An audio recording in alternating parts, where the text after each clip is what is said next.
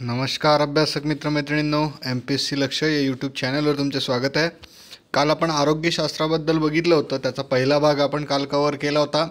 त्यामध्ये आपण जीवाणू विषाणू आणि इतर रोगांबद्दल ही माहिती बरीच माहिती घेतली होती. त्यातील एक थोडासा पार्ट जो राहिलेला आहे तो आज आपण कवर करणार आहोत. तुम्ही जर बघत असाल हत्तीपाय कॅन्सर या प्रकारचे जे रोग आहेत आणि सिकल सेल ॲनेमिया म्हणजे हे जे रोग वेगवेगळे जे रोग आहे काल आपण जे बघितलं होतं क्षयरोग बघितला होता ज्याला टी बी म्हणतो कुष्ठरोग प्लेग न्यूमोनिया टी बी धनुर्वात पटकी सिलॅसिस मेंदूज्वर आणि विषाणूजन्य आजार आपण बघितले होते. एड्स त्यामध्ये कवर केला होता. त्यानंतर कावीळ कवर केला होता. इबोला आदिजीवामुळे होणारे आजार आपण कवर केले होते. आज आपण जे कवर करणार आहोत ते म्हणजे कृमींमुळे होणारे आजार गुणसूत्रातील गुणसूत्रातील दोषांमुळे होणारे आजार हे सर्व आपण आज कवर करणार आहोत. सुरुवातीला आपण जे बघितलं होतं आरोग्यशास्त्र म्हणजे काय त्याची आपण एक परत एक रिव्हिजन आज घेतो आहे लवकर मी तुमची ती कवर करणार आहे. आरोग्य म्हणजे शारीरिक मानसिक आणि सामाजिक स्वास्थ्य. म्हणजे वर्ल्ड हेल्थ ऑर्गनायझेशनने जी डेफिनेशन केली आहे त्याच्यामध्ये complete mental physical mental and social wellbeing not merely the absence of disease or infertility असं म्हटलं आहे म्हणजे हे सर्व जे आहे आपली हेल्थ ज्याला हेल्थ हायजीन आपण म्हणतो आरोग्य जे म्हणतो हे मानसिक पण असायला हवं शारीरिकसुद्धा असायला हवं आणि सामाजिकसुद्धा असायला हवं. तर आरोग्यशास्त्राशी निगडीत संस्था जी डब्ल्यू एच ओ जी युनायटेड नेशन्सची आहे वर्ल्ड हेल्थ ऑर्गनायझेशन तिचं नाव आहे जिनेवामध्ये तिचं हेडक्वार्टर क्वार्टर आहे मा भारतामध्ये असलेलं AIIMS all India institute of medical sciences आता इतर शहरांमध्ये सुद्धा होत आहे. राष्ट्रीय विषाणू संशोधन संस्था नॅशनल इन्स्टिट्यूट ऑफ व्हायरोलॉजी जे पुण्या पुणे येथे आहे.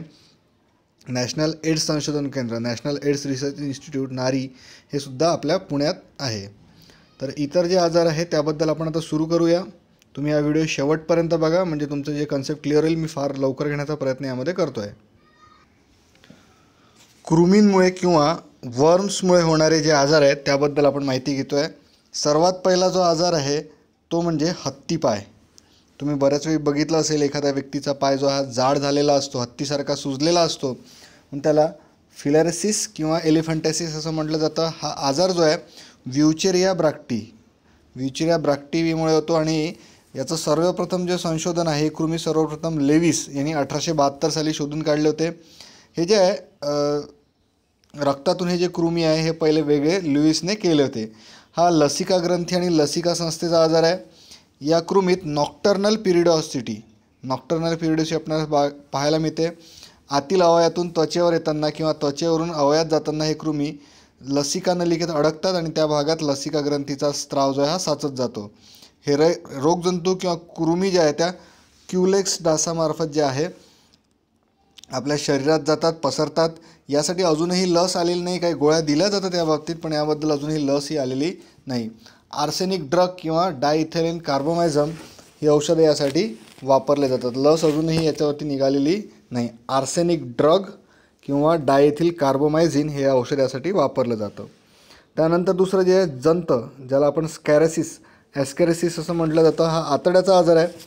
ॲस्कॅरिस लुब्रिकॉडिस या नावाच्या गोल कृमींमुळे होतो. हे जे कृमी आहे हे माणसाच्या शरीरामध्ये पसरतात. आणि जसं सामान्यतः लहान मुलांना दूषित पाणी अन्न किंवा अस्वच्छ वातावरणामधून घेतले जातात. त्यामुळे कृमींमुळे जे आहे आतड्याचा आजार हा होतो. यासाठी जे आहे आल्बेझिडॉल ॲल्बेन डॅझॉल हे औषध जे आहे हे दिलं जातं. त्यानंतर आपल्याला बघायचे गुणसूत्रांच्या बदलांमुळे होणारे आजार दुसरा जो प्रकार आपण आज बघणार आहोत तो म्हणजे गुणसूत्रांच्या बदलामुळे होणा होणारे आजार. गुणसूत्र म्हणजे आपल्यामध्ये जे क्रोमोझोम्स असतात या क्रोमोझोम्समध्ये काही जर बदल झाला तर त्यामुळे जे आजार पसरतात त्यांना गुणसूत्रातील बदलांमुळे आजार म्हणतात. सर्वात पहिलं जे आहे ते डाऊन सॉलक्शन डाऊन सिंड्रोम ज्याला म्हटलं जातं हा जे एल डाऊन यांनी अठराशे सहासष्टमध्ये सर्वप्रथम हा आजार ओळखला होता. यामध्ये काय होतं या प्रकारच्या लोकांमध्ये एकवीसवं गुणसूत्र जे असतं या एकवीसव्या गुणसूत्राची संख्या जी आहे ती तीन असते. म्हणून त्याला ट्रायसोमी ट्वेंटी वन किंवा मंगोलिझम असं सुद्धा म्हणून ओळखलं जातं. यामध्ये डोकं लहान असतं नागपुड्या मोठ्या असतात आणि वांसपणा असतो. चाचणीसाठी रक्ताची तपासणी किंवा गर्भातील द्रव्याची तपासणी केली जाते. यासाठी सुद्धा अजूनही उपचार हे उपलब्ध नाहीत. त्याला डाऊन सिंड्रोम असं म्हटलं जातं. एकवीसव्या गुणसूत्रामध्ये त्या गुणसूत्राची संख्या यामध्ये तीन असते.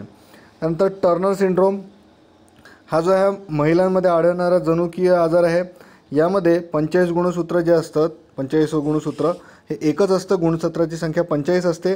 एकच जे आहे एक्स गुणसूत्र किंवा एकच लिंग गुणसूत्र यामध्ये असतं. या उपचारावर आजार नाही पण संप्रेरकाची पूर्णता केली असता व्यक्ती सामान्य जीवन जे आहे याच्यामध्ये जगू शकतो. याचे लक्षणं जर आपण बघितले तर कमी उंची मानेच्या त्वचेवर घड्या लहान जबडा मानसिक विकलांगता शारीरिक वाढ खुंटते तसेच अंडाशयाची वाढ होत नाही आणि वांसपणासुद्धा यामध्ये येऊ शकतो. त्यानंतर जो आहे तो क्लायनोफायटर सिंड्रोम. यामध्ये काय होतं? दोन लिंगी गुणसूत्राच्या ऐवजी जास्तीचं एक किंवा दोन गुणसूत्र असतात. दोन एक्स गुणसूत्र यामध्ये येतात. म्हणजे यामध्ये चौवेचाळीस प्लस एक्स एक्स वाय किंवा चौवेचाळीस प्लस एक्स एक्स एक्स अशा प्रकारचं गुणसूत्र आल्यामुळे हा आजार होतो.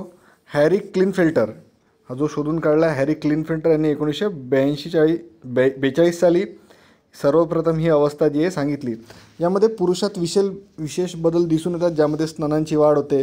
कमी किंवा चेहऱ्यावर केस नसतात नाजूक आवाज कमी मानसिक विकास ही या आजाराची लक्षणं राहतात. यासाठी सुद्धा जे आहेत उपचार हे नाही म्हणजे जनुकीय जे किंवा गुणसूत्रातील बदलामुळे जे आजार आहेत त्यावरती उपचार सापडणं फार कठीण आहे कारण की सर्व जे काम त्यावर जे करावं लागतं गुणसूत्रांवरती क्रोमोझोम्सवरती आपल्या डी एन एवरती करावं लागतं. त्यानंतर जे आजार आहेत ते म्हणजे चयापचयातील बिघाड किंवा इतर आजार. चयापचय क्रिया म्हणजे जे आपलं पचन होतं जे अन्न आपण घेतो त्याच्यातून पचन झाल्यानंतर शरीराला ऊर्जा देण्यासाठी जे सर्व काम करावं लागतं शरीर जे आतमधून पूर्ण काम करतं त्यामध्ये जर बिघाड झाला तर जे आजार होतात त्याला आपण चयापचयातील बिघाड म्हणतो. इतर आजारसुद्धा आपल्याला बघायचे त्यामधील पहिला जो आहे तो म्हणजे मधुमेह. आजकाल जे आहे डायबेटीस डायबेटीसचं प्रमाण फार वाढत चाललं आहे हा जो आजार आहे स्वादुपिंडात असणाऱ्या आयलेट्स ऑफ लँगरहॅन्समधील बीटा पेशी इन्सुलिन नावाचं सं संप्रेरक जे आहे हे तयार करतात. संप्रेरक जे महत्त्वाचं आहे आयलेट्स ऑफ लँगरहॅन्समधलं इन्सुलिन संप्रेरक. हे संप्रेरक पेशींना रक्तातील शक शर्करेचा वापर करण्यास प्रवृत्त करतं आणि त्यामुळे काय होतं की रक्तातील ग्लुकोज किंवा शर्करा जी आहे ती ऊर्जा निर्मितीसाठी वापरली जाते. पण काही कारणांमुळे किंवा अनु अनुवांशिकतेमुळे किंवा स्वादी स्वादुपिंडातील बिघाडामुळे स्वादुपिंडातील बीटा पेशींची संख्या कमी झाल्यामुळे स्वादुपिंडामधून इन्सुलिन हे जे संप्रेरक आहे हे स्त्रावलं जात नाही. मग इन्सुलिन जर स्त्रावलं नाही तर शरीरामध्ये जी शर्कर आहे तिचा वापर कसा होईल? वापरच होत नाही. त्यामुळे श शरीरातील शर्करेचं ज्वलन होत नाही आणि परिणामतः रक्तातील शर्करा जी आहे ती वाढत जाते. शुगर जी आहे ज्याला आपण शुगर झालेली असं म्हणतो ना ही शुगर जी आहे रक्तातील वाढत जाते. रक्तातील शर्करेचे सामान्यतः प्रमाण जे असतं ते साठ ते एकशे वीस M G per D L असतं.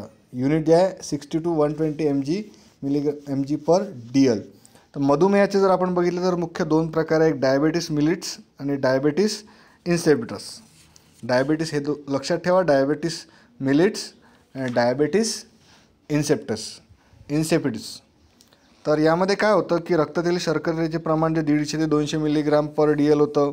रक्त शर्करा लघवीत शर्करा उत्सर्जित केली जाते रात्री लघवीत जास्त जावं लागतं. शरीरातील पाण्याचं प्रमाण कमी होतं. ऊर्जेची कमतरता जाणवते. सतत भूक तहान लागते. वजन कमी होतं. किडनीवर ताण येतो. यामध्ये उपचार म्हणून जे इन्सुलिनचं जे प्रमाण आहे हे वाढवावं लागतं. रका रक्तातील शर्करा कमी करण्यासाठी योग्य आहार घ्यावा लागतो. कर्बोदके कमी करावे लागतात. प्रथिनांच्या आहाराचा समावेश करावा लागतो. आणि इन्सुलिनचं जे आहे इंजेक्शन हे सारखं यांना म्हणजे बाहेरून इन इन्सुलिन दिलं जातं. कारण काय होतं?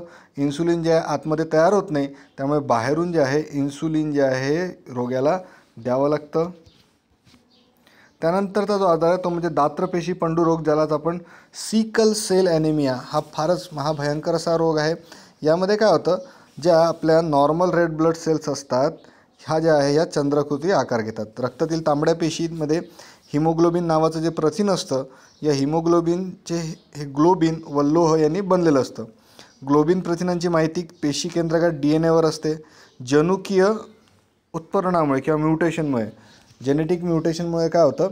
ग्लोबिन जनुकात बदल घडून येतो आणि ग्लोबिन प्रथिनातील सहावं अमिनो आम्ल ग्लुटॅनिक ॲसिडच्या ऐवजी व्हॅलिन होतं. म्हणजे अमिनो ॲसिडच्या ग्लुटॅनिक ॲसिडच्या ऐवजी काय तयार होतं? व्हॅलिन होतं. सामान्य हिमोग्लोबिनचा विशिष्ट आकार हा जनुकीय उत्परिवर्तनामुळे बदलतो आणि तांबड्या रक्तपेशींचा आकार अर्धचंद्राकृती होतो. अशा रक्तपेशींचं आयुर्मान काय होतं? मग कमी होतं. याचं जे लाईफ जे आहे या पेशींचं लाईफ जे आहे हे कमी होतं. आणि रक्तप्रवाहामध्ये त्या काय होतात? एकमेकांना अडकतात. एकमेकांवरती जाऊन अडतात त्यामुळे शरीरामध्ये जे आहे रक्तातील रक्तपेशींची संख्या कमी होतं. तर यामुळे जो प्रॉब्लेम मुख्य जो होतो तो म्हणजे अशक्तपणा जाणवतो लवकर थकवा येतो चक्कर येतो रक्तपेशींची संख्या कमी झाल्यामुळे जे आहे सारखं रक्त जे आहे अशा पेशंट्सला चढवावं लागतं सारखे आजारी हे पडतात. फारच वयाच्या कमी वयामध्ये सुद्धा हे दगावूसुद्धा शकतात.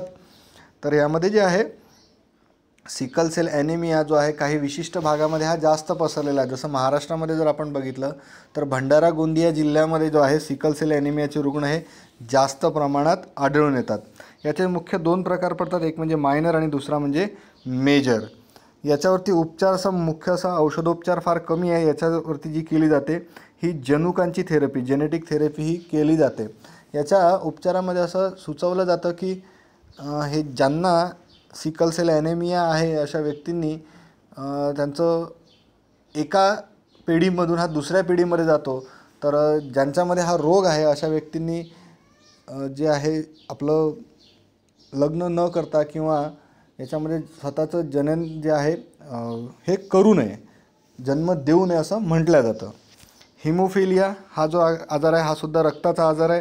हिमोफिलियामध्ये जे आहे रक्त जे आहे ते रक्त गोठल्या जात नाही. जसं आपल्याला एखाद्या वेळी कुठे जखम झाली तर जखम झाल्यानंतर जसं रक्त हवेच्या संपर्कामध्ये येतं तसं रक्त गोठतं व रक्ताचा प्रवाह थांबतो. त्यासाठी या रक्त गोठवण्याच्या क्रियेमध्ये तेरा घटकांची आवश्यकता असते. पण जर या घटकांपैकी आठवं आणि नववं घटक जर नसेल तर रक्त गोठवू शकत नाही आणि त्या आजाराला मग हिमोफिलिया असं म्हटलं जातं. याचे दोन प्रकार आपल्याला माहिती आहेत. ते म्हणजे एक म्हणजे हिमोफिलिया ए यात क्लास याला क्लासिकल हिमोफिलिया म्हणून सुद्धा ओळखलं जातं. यामध्ये जे आठवं घटक हे नसतं तर हिमोफिलिया बी त्याला नवव्या घटकाच्या अभावामुळे ते रक्त गोठवताना. त्यासाठी काय होतं? याच्यामध्ये जे हिमोफिलिया बीमध्ये नववं घटक नसतं. रक्त गोठवताना होतं काय? प्रोथंबिनचं रूपांतर थ्रोम्बिनमध्ये होतं आणि थ्रोम्बिन फायब्रोजनचं रूपांतर जे आहे रूपांतर जे आहे हे फायब्रिन फायब्रिनोजमध्ये होतं. फायब्रिनोजमध्ये रूपांतर होतं. तर हे जे आहे फायब्रोजी फायब्रिनोजचं रक्तात विरघळलेल्या स्वरूपात असतं पण फायब्रि फायब्रिनचे धागे आणि जखमेवर जाळी तयार करतात. यात रक्तपेटिका अडकतात आणि रक्तस्राव थांबतो. पण हा आजार जर झाल्यामुळे याच्यामध्ये काय होतं? फायब्रिनोज तयार होत नाही. त्यामुळे हा रक्त गोठत नाही. हा हिमोफिलिया हा सुद्धा जनुकीय आजार आहे यावरती औषधोपचार नाही पण जनुकांची थेरपी यावरती केली जाते. रोगाच्या जर जखमेतून प्रचंड रक्तस्राव झाला त्यामुळे मृत्यूचा संभव यामध्ये जास्त प्रमाणात हा असतो. त्यानंतरचा आजार तो म्हणजे आज सर्वात जास्त त्रास अस असलेला मानवांना सर्वात जास्त त्रास असलेला तो म्हणजे कॅन्सर. समान कार्य व रचना असणाऱ्या पेशींची निर्मिती होताना पेशींचे विभाजन जे आहे ते अमर्यादपणे होतं. पेशींचं विभाजन होतं पण अमर्यादपणे होतं त्याला आपण कर्करोग असं म्हणतो. काय होतं यामध्ये? पेशी ज्या आहेत हे जर आपण बघतो आहे नॉर्मल सेल डिव्हिजन कशाप्रकारे होतं? एकाचे दोन सेल असे नॉर्मल नॉर्मल पद्धतीने होते. पण जेव्हा कॅन्सरस सेल असतो त्याचं जे डिव्हिजन जे आपण बघतो आहे ते अमर्याद रीतीने सेल्स हे वाढत जातात. त्यामुळे ट्यूमर तयार होतो. तर त्या ट्यूमर म्हणजे गाठी तयार होतात. त्या गाठींचे मुख्य दोन प्रकार आहे. एक तर म्हणजे बेनिंग ट्यूमर ज्याला माय बेनिंग ट्यूमर दुसरं म्हणजे मारक गाठी ज्याला मॅलिग्नंट ट्यूमर असं म्हटलं जातं मारक गाठी. बिनाईन गाठी ज्या आहे या साध्या असतात या वाढत किंवा दुखत नाहीत. या पेशी ट्यूमरच्या बाहेर पडून इतरत्र अवयवात सुद्धा पसरत सुद्धा नाही. म्हणजे या ट्यूमरच्या बाहेर पडत नाहीत. बिनाईन गाठी. तर मॅलिग्नेट ज्या मारक किंवा मारक गाठी ज्या आहेत या अनियमित व अनिर्बंधप्रमाणे वाढतात. रक्तवाहिन्यांमार्फत लसिका व संख्येमार्फत शरीराच्या इतर अवयवात पसरतात. त्यामुळे शरीरामध्ये कुठलाही कॅन्सर हा होऊ शकतो. तर उतीच्या प्रकारानुसार अकॉर्डिंग टू सेल्स किंवा टिश्यूजनुसार जे आहे कर्करोगाचे पुढील प्रकार आहे. पहिला म्हणजे सर्कोमा सार्कोमा म्हणजे हा संयोगी ऊतींचा कर्करोग. मुख्यतः जो आहे हा अस्थि स्नायू रक्त आणि मेदपेशी इत्यादींमध्ये होतो. तर दुसरा म्हणजे कार्सिनोमा. कार्सिनोमा म्हणजे अभिस्तर ऊतींचा कर्करोग. पहिला जो आहे हा संयोगी ऊतींचा दुसरा म्हणजे अभिस्तर ऊतींचा कर्करोग.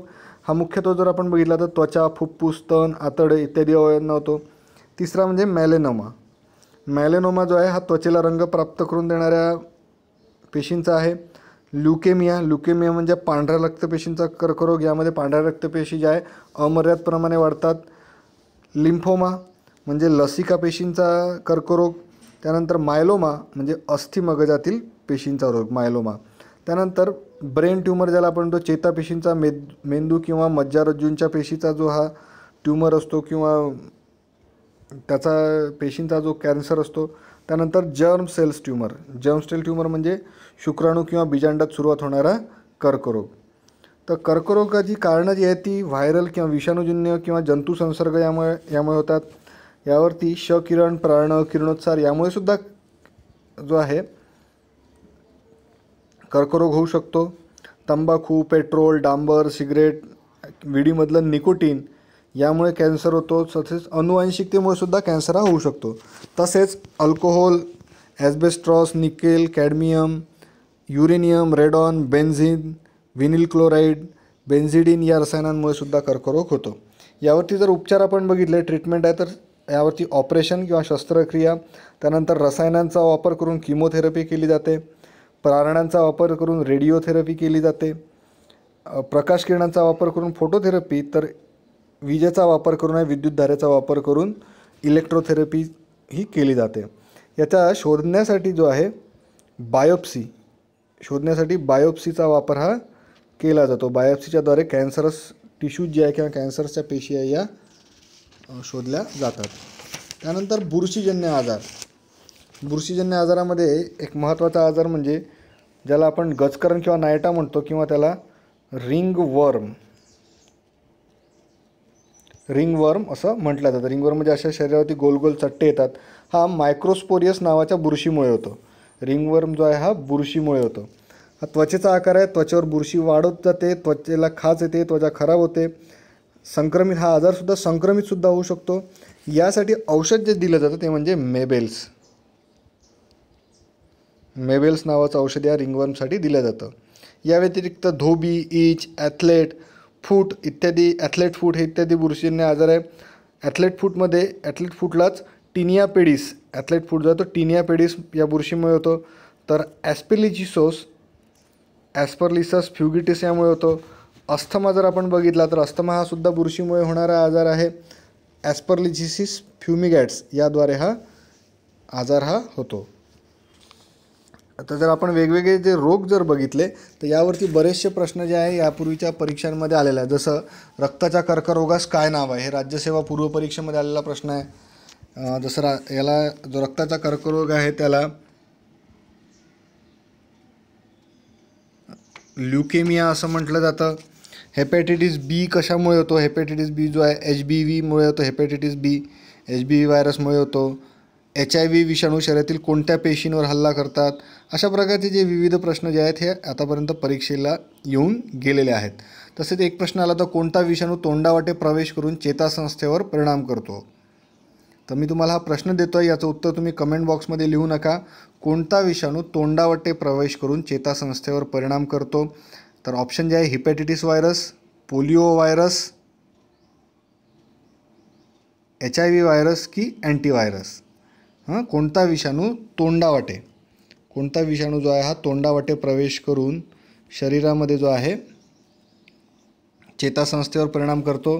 त्याला आपण हिपॅटिटिस एच ए व्ही किंवा एच बी व्ही पोलिओ त्यानंतर एच आय व्ही आणि अँटीव्हायरस तर या चारपैकी जो आहे कोणता विषाणू जो आहे तोंडावाटे प्रवेश करून चेतासंस्थेवर प्रवेश करतो? हा पी एस आय दोन हजार तेराच्या परीक्षेला प्रश्न येऊन गेलेला आहे. त्याचं उत्तर जे आहे ते तुम्ही कमेंट बॉक्समध्ये लिहू नका. सोबत हा व्हिडिओ तुम्हाला कसा वाटला हे आम्हाला नक्की कळवा. यामध्ये जे आहे आपण हा जवळपास जे सर्व हायजीनमधला जो भाग आहे हा पूर्णपणे कवर केलेला आहे. बरेचसे रोग यामध्ये कवर केलेले आहे. तुम्ही हा व्हिडिओ एक दोन वेळा परत बघा जेणेकरून कसं आहे तुमचं हे पाठ होऊन जाईल सगळं. तर मित्रांनो करा अभ्यास बना अधिकारी धन्यवाद.